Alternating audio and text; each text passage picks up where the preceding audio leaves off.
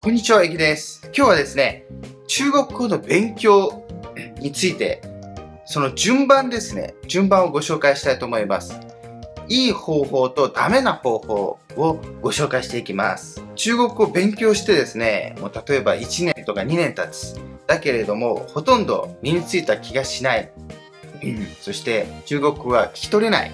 なおかつ自分で表現することもできない。という人はですね、やり方が間違えている可能性が大きいです。例えばですね、目安では、例えば僕の場合は、え、3ヶ月くらいですね、3ヶ月くらいで、まあ、ある程度会話はできるようになりましたね。で、作文大会でもですね、あの、三等賞を取ったりしましたね。あの、北京であったんですけど、他には、あの、スピーチコンテストも入賞しました。はい。で、これはも、ともと僕がすごいのではなくて、僕は高卒ですし、そんな特別なですね、頭があるわけではないので、もう僕ができるということはですね、皆様はもっと簡単に達成することができるということです。では、そのやり方ですね、やり方はどんなのだったかというと、こうなんですね。あこうなんですね。文法事項をですね、さらっとチェック、ざっとチェックと。ここがポイントですね。理解しようとはしないんです。はい。というのも、まあ僕自身理解できませんでしたから、まあ、実際理解はできないと。その後に使う。使うというのは、何でもいいんですね。アウトプットってことですね。例えば、あの、中国の人と話すというのでもいいです。で話す以外にもチャットをするとか、あとは読むでもいいですね。たくさん読む。まあ、多読と言ったりしますね。たくさん読むとか、たくさん聞くですね。多聴なんて言ったりしますが、映画を見てもいいですし、ドラマですね。まあ、中国とか台湾のドラマありますから、そういうのを見てもいいです。そういうので使うんですね。たくさん触れるということですね。うん、まあ、例えば、映画を見るのはアウトプットと言わないのかな、インプットというのかもしれませんが、まあ、たくさん触れるということですね。中国に触れると。その中で、相手ですね、ネイティブ、もしくは映画の中の人物とか音楽でもいいですけど、そのネイティブの表現をチェックするんです。あと自分の表現を比較するんですね。なので一番いいのはですね、その自分で使う、話す、チャットするというのも、いう、えー、すごく一番有効ですね。それが一番有効です。でもそれができない人は、たくさん聞くとか読むとか、受け身的なものでもいいんですけど、一番効果があるのは、やはり自分で使うんですね。チャットをするとか。で、例えばですね、その、ネイティブの人と話す機会がないよっていう人はですね、まあ、無料で使えるアプリもありますし、あとは有料でも学研がやってるですね、安くて1レッスン200円とかで1時間くらい喋れるのかなはい、それくらいあの中国の人と会話、レッスンができるというサービスも あります。今はもう安いですからね。そんなお金かかんないんですね。コーヒー飲むより安いですから、まあ、詳しくはですね、下のブログですね。え概要欄にブログ貼っておきます。そこで詳しく解説していますので、ぜひチェックしてみてください。オンラインレッスンとかもですね、お金がかかるものに関しては、やはり信用できる人から情報を得た方がいいですね。ちゃんとリサーチしてから、まあ、OK だなと思ったら申し込んだ方がいいですね。で、例えばそういうのリンクとかあるんですね。まあ、ここから申し込めますとか。そのリンクも偽物があったりするらしいんですが、まあ、そういうの気になる人はですね、僕のその概要欄のリンクから、えー、飛んでください。僕のブログの中で紹介してあるのは、まあ、全部本物ですから安心してください。その中で、ネイティブの表現を、まあ、しっかりチェックするんです。どうやって表現するのかなとか。例えばご飯を食べて美味しいという時に、好吃っていうのは知ってるけど、あれ？他の人は不错とか言ってる。はい可以ってなんだ？はい好ってなんだ？いろんな表現があるわけですね。そういうのをですね、アンテナを張ってですね、拾い集めてくるんです。でその場合別あの別にメモしたりはしなくてもいいですね。僕自身もメモしたりはしてませんでした。何度も触れると、よく使うものっていうのは頭に入ってきます。で、ここで比較して、自分の表現とのギャップですね。それを修正していくんです。自分のどういう表現が違うのかなという感じで、これの繰り返しです。はい。で、もうちょっと、また文法事項増やしたいなら、そこをざざっとチェックすればいいですし、それを繰り返すんですね。それだけです。例えば、じゃあ文法はどうやって調べるのかというと、えここでもですね、まあ、たくさん中国語の例文に触れるというのが重要です。たくさんの説明があるよりも、例文ですね、例文に触れていくだけでいいです。で、その場合はあまり日本語を返さない方がいいですね。日本語訳とかあまり見ないで、こんなもんかなっていう、こんな程度かな、こんな意味かなという曖昧な感じでいいんです。曖昧な感じでもいいので、それを頭の中に入れると。日本語訳があると逆にあの表現が違ったりしますから、ちょっとおかしな理解になったりするんですよね。僕も通訳とかしてて、その中国語勉強してる人もいるんですけど、表現がちょっとおかしかったりするんですよね。毎回毎回日本語に訳そうとするので、そうすると、ちょっとおかしな方向に理解しちゃったり、ということが多いですね。そういう人をたくさん見てきました。なので、まあ、あまり日本語は返さない方がいいですね。もちろんこの僕の YouTube ですね、チャイナサプリ、YouTube、それからブログでは文法も HSK1 級の文法から解説していますので、まあ、それをですね、ざらっとチェックしていただければ OK です。全部理解する必要はないです。その中でたくさん例文を紹介していますので、ネイティブ音声で紹介していますので、例えば動画ですね、その文法レッスンの動画があります。それを、まあ、HSK1 級とか2級、まあ、2級くらいまででもいいんですけどね。まあ、もっとしっかり見たいという人は3級くらいまで。まあ、ほぼ3級くらいまでが文法の方法のほど、ほとんどがその HSK1 級、2級、3級で網羅されますから、中国は文法少ないです。なので、まあ、2級くらいまでの動画をですね、ざらっとチェックする。全部見てもいいですね。1回見て、もうそれで終わりです。理解しようとすると、泥沼にはまりますから、終わらないですから。うん。だからそこであまり時間を使わないようにしましょう。つまらなくこう。これの繰り返しですね。これを繰り返すと。はい。で、これが、まあ、上達ですね。上達の道ですね。これをですね、繰り返していれば、まあ、3ヶ月とか4ヶ月くらいでですね、ある程度表現できるようになります。では、ダメな方法ですね。よくある方法。1年2年勉強していても上達しないという人は、このような方法で勉強している人が多いですね。まずはま文法を完璧にすると。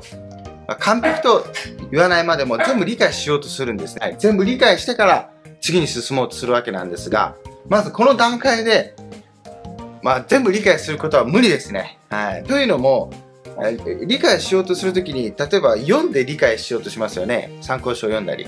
もしくは問題集をやったり。それでは理解できないんですね。使わなければ、その、使えるようになりませんから。はい。逆説的なんですけど、使わなきゃ使えるようにならないんですね。なので、ずっと入れてるだけでも、使えるようになりません。どっちにしろ忘れます。はい。なので、ここで時間かかると。ここですね、1年とか2年かけてる人が多いですね。えというのも、まあ簡単なんですね。文法の参考書を見るとか読むっていうのは勉強した気になりますからね。まあ、勉強した気になるので満足感があるんですね。はい。あとは問題集。その次に問題集をやると。その文法の問題集をたくさん解いていくんですね。はい。それもやる、あの、やった気になりますよね。たくさん勉強した気分になると。問題が解ければ理解しているというような気にもなれるわけですよね。でも、問題集というのはただの、英語ではですね、クイズっていう呼ぶらしいんですね。あのクイズですね。日本語で言うクイズと同じですけど。なので問題集というとかっこいいですけど、クイズって言ったらただのなぞなぞなんかと同じですからね。はい。それをたくさんやったところで、語学ができるようにならないんですね。はい。僕もですね、今まで以前の動画でも紹介しましたが、7カ国語、8カ国語を勉強してきたんですよ。で、ほとんどの半分以上はですね、このやり方だったんですね。もちろん一番最初に思いつくのはこのやり方なので、はい、スペイン語とかいろんな言葉をですね、勉強しようとした時に、最初に参考書を買って、文法の全部読んで、何度も何度も読んで、問題集やって、というような感じだったんですけど、まあ、使い物にはなりませんでしたね。はい。で、試験を受ける。あの、語学の勉強でですね、試験を受けて、その試験の合格を目標にする人がいますよね。というのも試験に合格すれば、ある程度の語学力が証明できるとまあ考えるんでしょうね。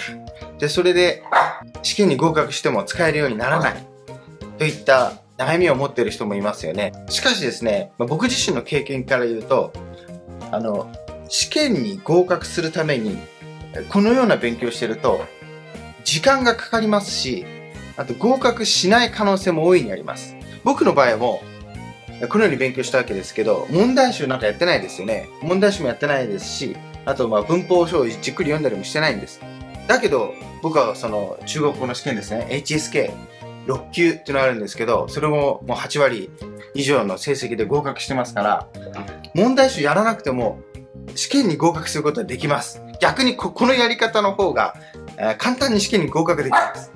この方法の方が、その文法事項ですね、覚えるのが早いんですよ。身につくのが早いですから、自分でこのように数ヶ月やれば、あと、その HSK の問題ですね。その過去問は僕は試験前1ヶ月くらいはその過去問を買ってやったんですよ。はい、初めて中国語の,、えー、その問題集をやったわけなんですけど、まあ、ほぼできましたからね。はい、なので、その問題集、試験のための練習ですね。こんなのは必要ないんですよ。中国語ができるようになれば、本当の生きた中国語が使えれば、問題集、試験の問題とかは簡単に解けます。はい。なので全然大丈夫です。ちなみにですね、僕の妻、中国人なんですが、最初日本語が全然できなかったんですね。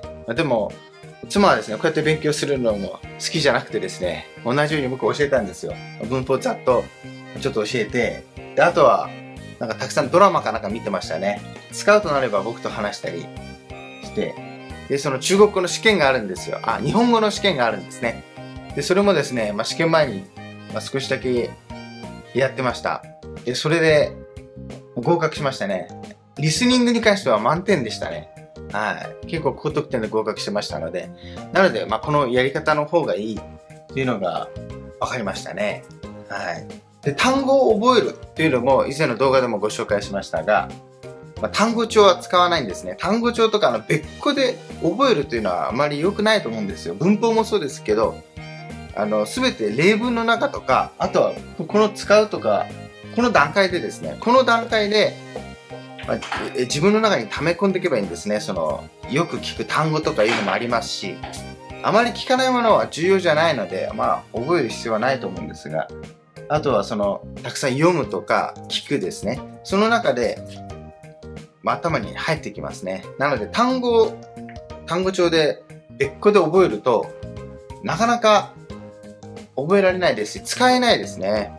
例えば僕がよく使う例なんですが、まあ、数年間日本語を教えてたんですね、中国の人に。で、その単語帳で覚える人はですね、例えば、まあ、あの、知りますとか書いてますね。知道、知りますとか書いてあるんですよ。単語帳に。で、中国語の意味があって。そうするとですね、使えないんですよ。例えば、私はこの映画知りますとか言うんですね。でも日本人が使うのは知っています。この形で使えますよね。私はこの映画知っていますと。ていますに変わるわけですよね。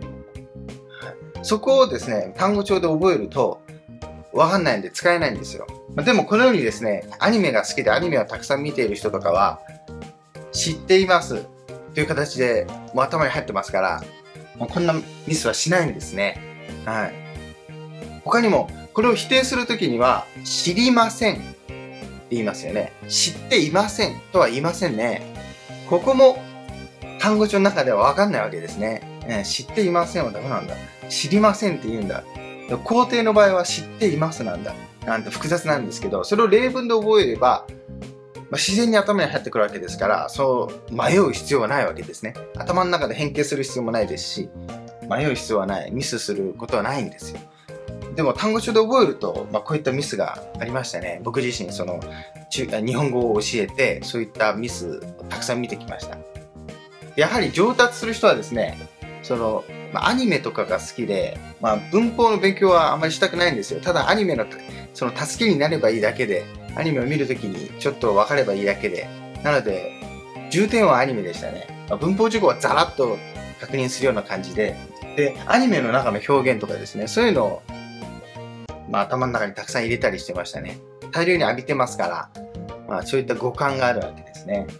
で、そういった子はですね、試験でもですね、結構8割以上で合格できるんですね、高得点で。逆にですね、その、矛盾しているような感じなんですけど、一生懸命勉強する人、教科書とか参考書読んで勉強する人っていうのはいるんですよ。あの、ガリ勉的に一生懸命やってる子がいるんですよ。まあそういうのを、教師側としては好きなんですけど、そういう学生は好きですが、で、あの、試験となるとですね、点数はあんま取れませんでしたね。合格する人も少なかったですし、あと合格したとしてもギリギリなんですね。まあ、というのもですね、このようにやってもですね、日本語に触れる量というのははるかに少ないんですね。リスニングのあの問題集とかありますよね。そういうので練習したとしても、そのアニメを見てる人との聞いてる量ははるかに違いますからね。それで叶わないというのがあります。あとはその問題集をたくさん解いても、あまりですね、効果はないように思いましたね。それで使えるように、使えるようにはならないですね。問題たくさん解いても。あと理解も深まらないような気がしましたね。えっていうのも問題集では、例えばその変形があるんですよ。私はこの映画を、かっこ知ります。変形しなさいってなるんですよ。でも問題集の場合はそれを変形して知っています。というふうにやるんですね。例えばこの間がですね、まず知りますを手に変えるんですね。りの場合、1D の場合は手、ちっちゃいやつに手になるっていろんなルールがあるんですけど、知っています。とか、まあ、過去なら知っていました。タメ口とかなら知ってるとかいうふうになるんですけど、そういうのを頭で考えて一生懸命やるんですね。はい。まあ、それでも、そうしたらもう使う時になったらし、そのスラスラ出てこないんですよね。えー、そういう習慣がつくと。ゆっくり分析してですね、それを変形して、という習慣がついてると、もうあまり話せるようになりませんね。それならもうもともと出来上がったものですね、例文とかその会話とかを一気に大量に浴びるんです。そうすればだんだん五感がついてきてできるようになります。はい。なので、まあ、この勉強ですね、その参考書、問題集、試験、過去問、全部捨てましょうと。ちょっと極端ですけど、僕は本気で、半分本気で言ってますよ。こういうのがあればですね、使えますからね。使わないともったいないっていう気持ちがありますよね。はい、そういうのをメルカリで売ってしまいましょう。はい まあ、試験受ける人は、まあ、過去問はですね、あった方がいいかもしれませんが、そのまあ、文法とかはですね、まあ、僕はあの解説してますから、あのネイティブ音声の例文たくさん入れてますから、はい、参考書よりもいいですよ。自分で言うのもあれですけど、参考書よりも役に立つと思いますけどね。はい、皆さんはその文法をざーっとチェックして、えー、その後、まあ、使う、具体的な方法はですね、下の概要欄のブログをチェックしてください。そこでたくさん使うと。この方法でやってみてください。皆さんの中国の勉強を応援しています。無料メルマガでもですね、詳しく勉強の方法とかヒント、中国の知識を紹介していますので、ぜひご登録ください。では少しでもためになりましたら、いいねお願いします。チャンネル登録まだの人はぜひチャンネル登録もよろしくお願いします。ではまた次回の動画でお会いしましょう。さよなら。